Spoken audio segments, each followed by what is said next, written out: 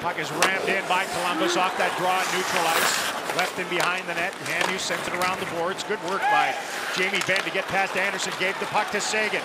Seguin comes into the zone. There goes Bishop to the bench. Tyler wiped out. Follow up by Benn. Shot for the point. They score! They score! A deflected puck sifts past Korpisalo. And it's a tie game with two minutes to go in regulation. Right from their own end of the ice.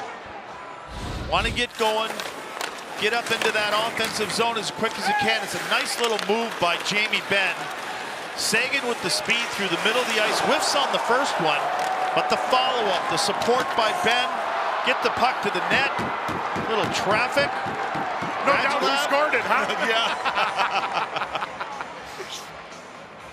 Seguin, when he whiffs on it, it's the recovery after that. And then that drive through the crease, get bodies going there. You put enough pucks there tonight, something was bound to get by.